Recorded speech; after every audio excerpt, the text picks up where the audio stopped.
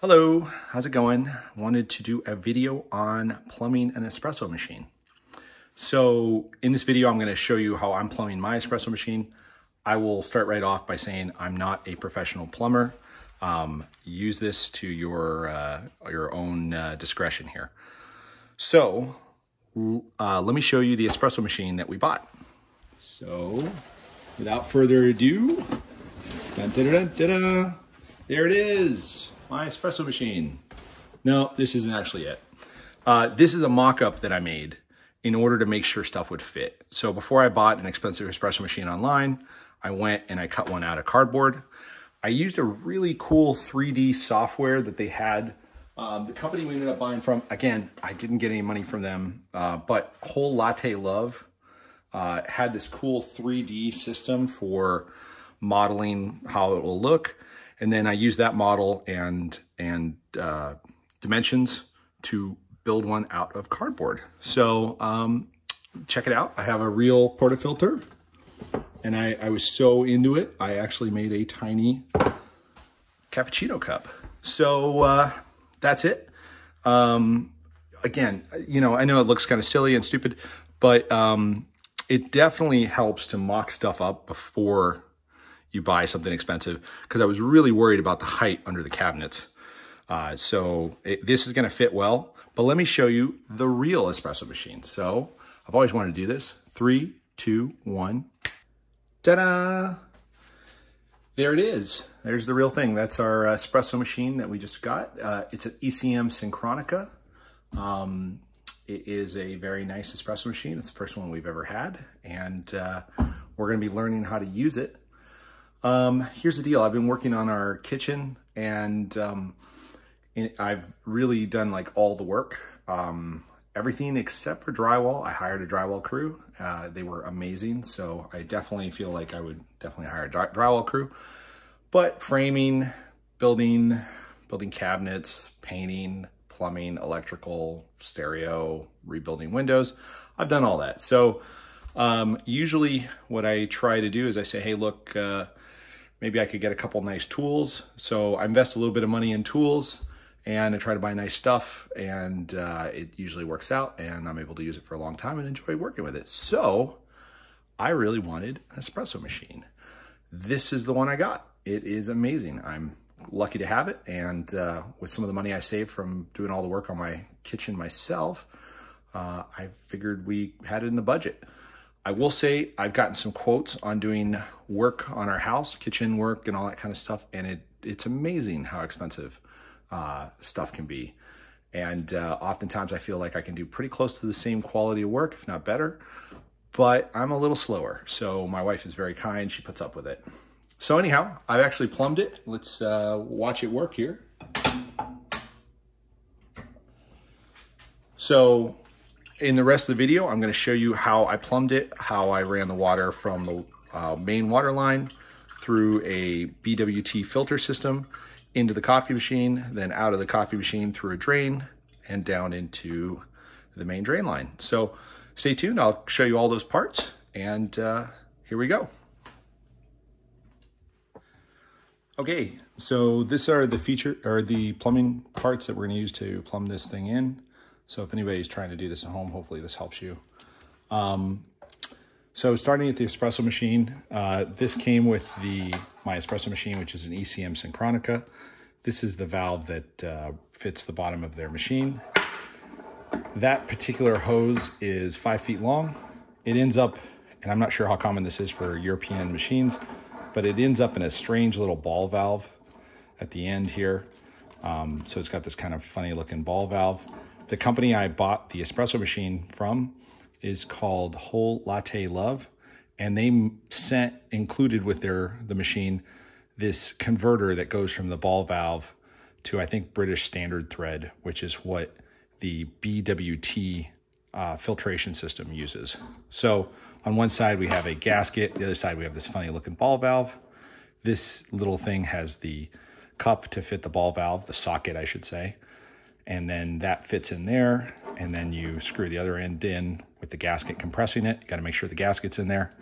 And that makes that transition between the two types of um, uh, braided stainless steel uh, service lines. Then the other end of this fits nicely into the top of my uh, BWT uh, system. This is, so i I'm running it backwards from the machine. This is the BWT Aquameter display.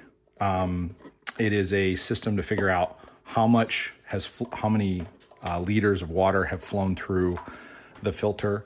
That way you can determine how much life is left in the filter. They say to replace these filters every year. I think you can go more off use because the filter, I don't think the media goes bad. But uh, yeah, so basically this is a little display that lets you kind of track how much has been going through the canister. Then that fits down into the BWT Best Head Flex. This is the head that, that, that operates the canister. What's really cool about these is they have a selectable dosing amounts. So that allows you to select how much water is being bypassed and how much is going through the, the canister. The reason you want to bypass some water is it's still being filtered for contaminants and impurities, but you're allowing the um, calcium to go through the filter. That makes the coffee taste better. If you use pure distilled water, I, I've been told the coffee doesn't taste very good. So if you had like an RODI system, even though that seems like it'd be better because it'd be pure water, apparently it won't taste very good. It will also, the water would actually possibly start leaching things out of the machinery, out of the metals in there because the water is so pure, it's a perfect solvent. Any anything that can will try to dissolve into the water. So it sounds weird, but you want to filter it, but not filter it too much. So there you go.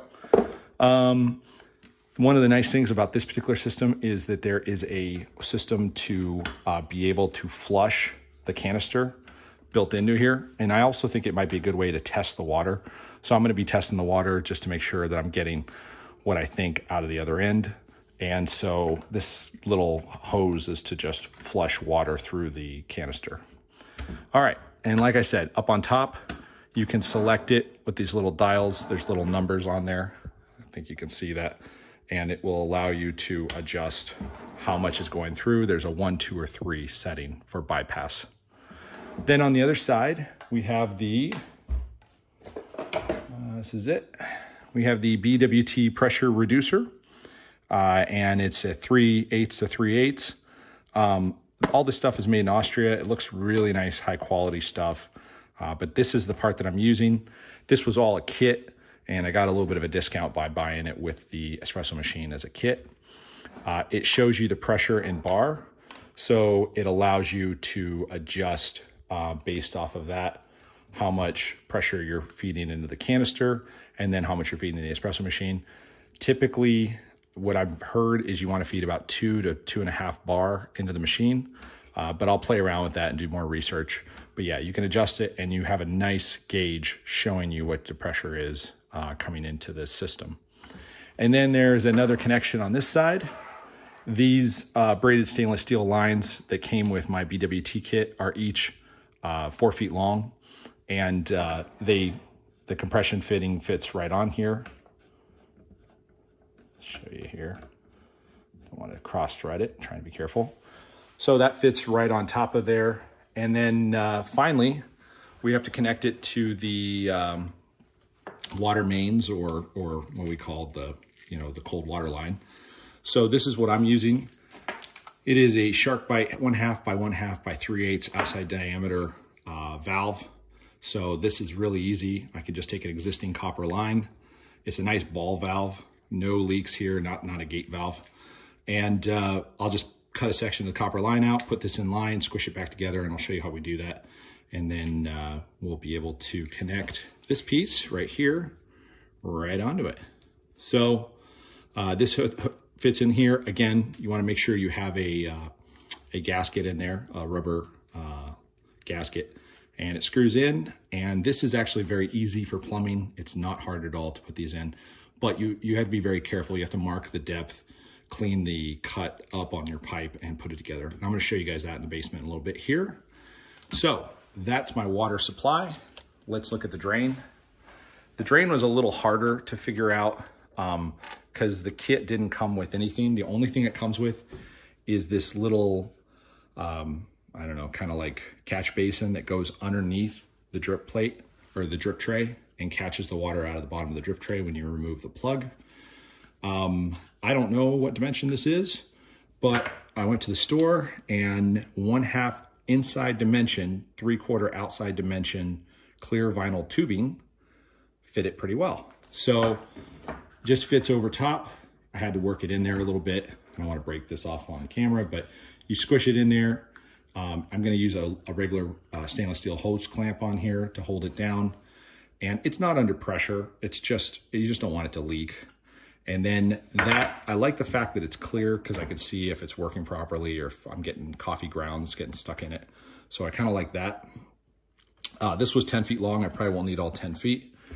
And then on the other end, what I did, these are uh, PVC threaded collars that you would use for putting threaded half inch pipe in. Let me show you here. So you can see there's a, a thread on this and it's a, uh, this is one inch to three quarter, and then I had a three quarter to half inch threaded piece. And it threads this little half inch pipe on pretty well. Um, so you thread that on there, and then I went and got a traditional S-trap. So this is just a regular siphon trap. Um, and what I found was with this little fitting, it'll fit nicely into the top of the S-trap and then it will allow the S-trap to catch any sewer gas so it's not coming back up the pipe or making any issues. So just keeps the water up here. Water drips down here, goes to the S-trap, and then it goes into our actual, uh, uh, we're gonna be running this through um, regular plumbing here. Okay, um, so this is uh, drilled a hole through the wood countertop that we're using until we get our permanent countertop in. And I used a two inch grommet. Um, this is a sort of grommet that you'd use for a computer, um, like uh, cable on a desk.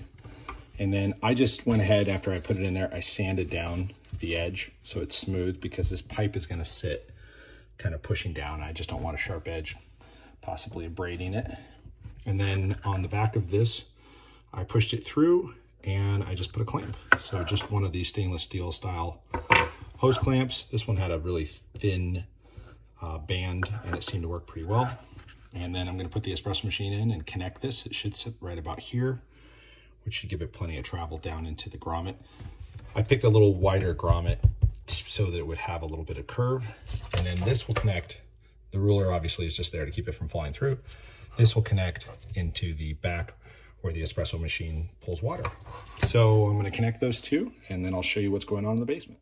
Okay, so there's the drain running right there, running straight down to that grommet you can see back there with the drain line. Let's go underneath. And uh, let's see if you can kind of see underneath there. So there's the uh, water supply and the electrical cord both running down to the grommet. And it looks like there's a good, a good nice uh, slope going away from that drain. What another nice thing is these feet can be moved up and down, so you could you could tip it back a little more if you wanted to. Uh, but that looks okay. All right, I'm just putting together the uh, the BWT uh, Best Head Flex pump, and I've got this little water meter here. Um, what I did is I just cut out all this crazy amount of wire, and I just cut it down to a little shorter piece. Um, that's how the connectors go. I just tinned them a little bit with the soldering iron. By the way, if you guys are looking for a soldering iron, the Hakko FX888D is like amazing. Um, so I tinned them, put them in here, reconnected them, and then I'm probably gonna just mount it so it's opposite of this gauge on this side. So uh, put this together and finally go down to the basement and start installing this. Okay, uh, down here in the basement, I'm putting in the uh, ABS pipe uh, that needed to be added in there. So what I ended up doing is I, I've got my uh, sink drain here and I cut it um, off there, cut it on this side, installed this little section up. This is two inch pipe, one and a half inch pipe, a collar, P-trap, and then that's gonna go up for the drain And then I just picked the line up and brought it back to where it needed to go. Um, when you're doing this, make sure you keep a good slope. Uh, that way you don't end up flat if you end up cutting the pipe because then you'll just gather water in there. And, uh, you know, obviously when you connect, it's better to pull it in the direction you want the uh, drain to go. So I'm going to glue all this up and uh, then we're going to start bringing down the, uh, the rest of the pieces. One quick thing, I put the drain on first. I'm going to put the water um, feed above it. Another basic plumbing thing, put the drain underneath where you want to get drinking water. you don't want the drain ever dripping down onto your drinking water source, right? So try to keep them separated by gravity and that will keep bacteria and all kinds of other things from getting in your drinking water. All right, we'll keep going here. Okay, so I've got the pipe in, um, getting ready to anchor this into the wall. And I've got these little brackets. So I put these brackets on here um, so this pipe stays a little more firm. Uh, tool of the day, I guess, is this BHC 18 from Festool. I got this thing, uh, there was a big sale. They were like 25% off last year because I think they were getting rid of them. But it's a hammer drill. Uh, it uses these really nice little uh, bit system. It's not like a regular chuck. So let's use it to uh, screw in this piece. So it's back in there. Again, this is battery driven. So, so pretty darn fast. I'm super impressed with this tool. So we'll pop on the, uh, the bracket here. Uh, before we do that, let's grab a couple wall anchors. These little guys in there. There we go, there's one and two. Put this guy up there. And uh, I, I, like to use just regular screws uh, that have the hex or the uh, T-bits on there.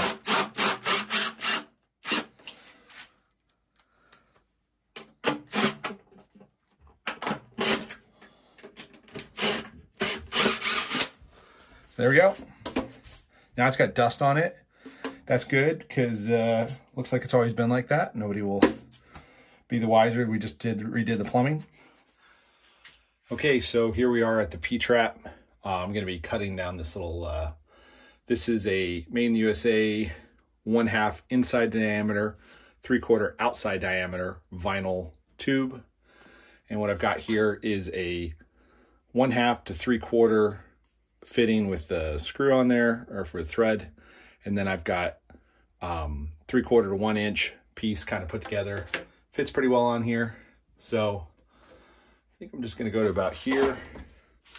Again, tools, love tools. This is a Knipex 90 20 185 uh, cutter. I use this a lot for PEX. Only thing I don't like about it is the blade gets a little tarnished, but it, it works really well to cut a nice straight piece of pipe. So just hold it here. There we go. Guess you could use it also to take the end off a cigar.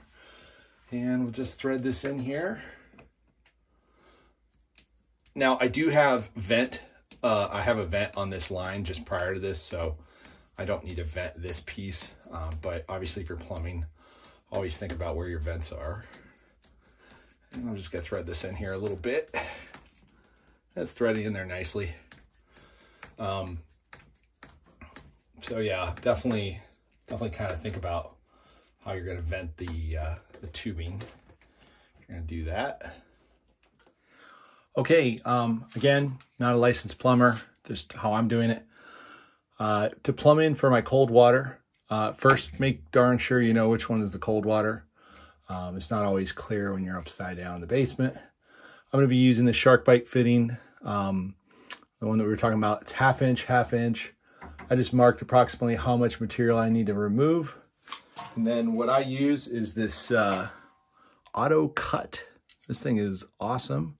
It's actually made in England. It's very, very helpful. It uses almost no space. Uh, you put it on here, you twist it the right direction. It cuts the pipe perfectly on both sides there. Then I'm going to go in with this tool. This is a SharkBite uh, tool that marks the depth that uh, you need to get the pipe pushed in. so that you have a correct fitting. So I'll mark those positions and make sure I reach those when I push the pipe together. It also has a little deburring tool. And then finally I hit it with a little bit of like this sandpaper emery cloth. The biggest thing with these SharkBite fittings is you do not want a sharp burr on the pipe when you put it back together because there's an O-ring on the end on the inside of the SharkBites and it will nick that O-ring and possibly cause the joint to fail. So I love the SharkBite stuff. Um, this is a pretty good spot. And uh, so we're going to install that and then I'll show you how it looks. Okay, I got everything plumbed together. Um, this is the BWT um, filter. You can see back there, it's obviously anchored in the wall. Uh, nice thing about these is they tip forward, so if you want to change the canister, let you tip it forward. I was originally planning to plumb it to the sides, and like I said, this fitting, they don't include the straight one.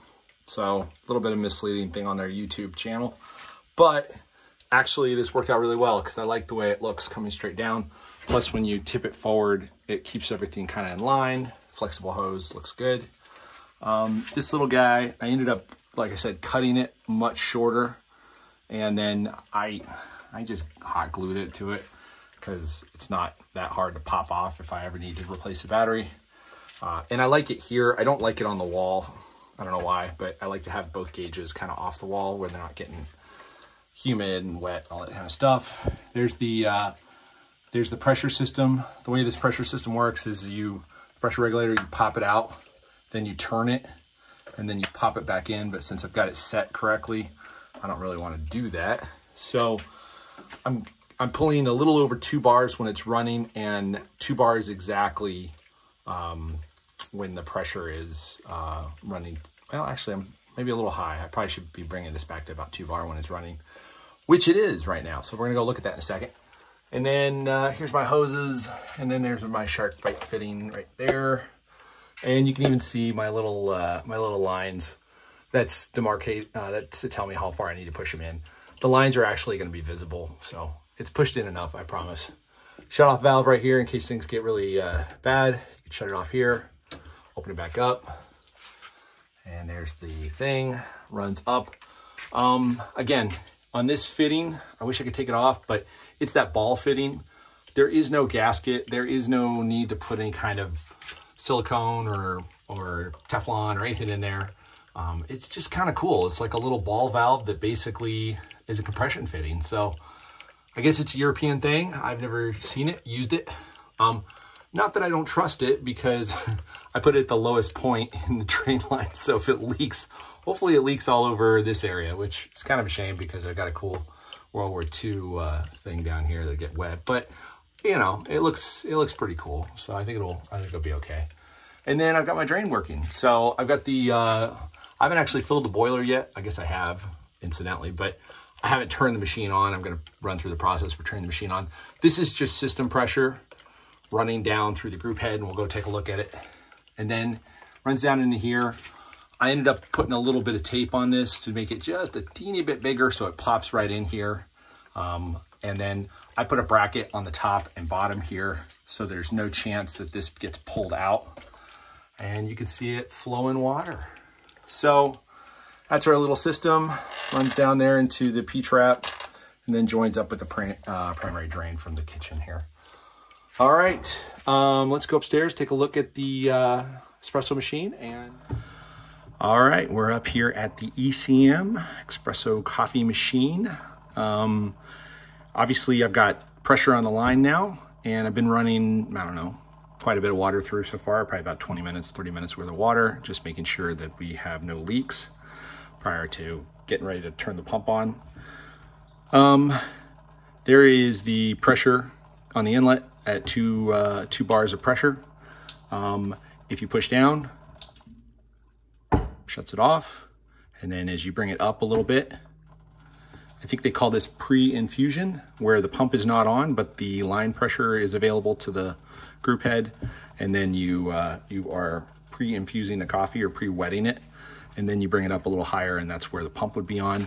I don't have the pump plugged in. I have to figure out how to prep the boiler and make sure that it's plenty of water and kind of run through that procedure, which I think I kind of have by running water through the system, but I'm gonna read the manual, make sure I know what I'm doing before I actually plug this thing in. And uh, then it's dripping down. This is my fancy smancy water um, non-distribution tool. Keeps the water coming down into the, uh, into the drip tray so I don't have a big mess. Running down to the drip tray. Looks really good so far. No, no leaks. We're gonna go take a look at that. So let me pop this off and we'll go to see. So let's go take a look underneath. Looks like I don't see any puddles of water after about 20 minutes of running. There you can see, the light around here. Can see the water flowing through. No problem, looks like it has a pretty nice angle. There is the water line on the back, no issues, uh, no water issues. Looks like the, the position of the hole is pretty good. Um, I'd say that hole is about I don't know. Let me get a let me get a uh, a ruler. Give me two seconds. That hole from the very front of the machine is about seven inches back. So uh, I guess to the middle, we're probably about eight inches or so. So that's where I am. If you look down at here, looks like I'm maybe eight and a half to get to that hole. I think that helps having it back a little like that because um, it gives it enough to tip it back and get water flowing down the machine. And you don't want a high point right there. And then uh, obviously the braided line that they provide is perfect because that thing's really thin. So I really like that braided line that they gave you. Um, it's perfect. There's that another one of those ball joints. It works great. So um, when you get the machine, obviously there's a screw under here that you have to remove to let the pump um, not be locked in. Then there's a, a valve. Okay, there's a valve back here that needs to be positioned out towards me, I guess. Um, and that allows line pressure to be the source of water. And then I can't show you right now, but inside there, there's a little switch that I think it turns off the water sensor. It's basically what it's doing and it'll allow the machine to run because otherwise the reservoir is empty and probably always will be. So that would trigger the system to not want to run. So there we go. ECM Synchronika plumbed. Uh, if you see anything I did wrong, please let me know in the comments. I'm sure coffee aficionados will do that anyways. And uh, we'll go from there. So thanks so much. I hope this helps somebody. Like I said, I was putting this in. I had lots of questions and I I figured I'd share how I did it, good, bad, or or other. Um, at least I've given you guys what I've done, and maybe in the comments if I made any any mistakes, please correct me. So thanks so much. Have a great day. Enjoy your coffee.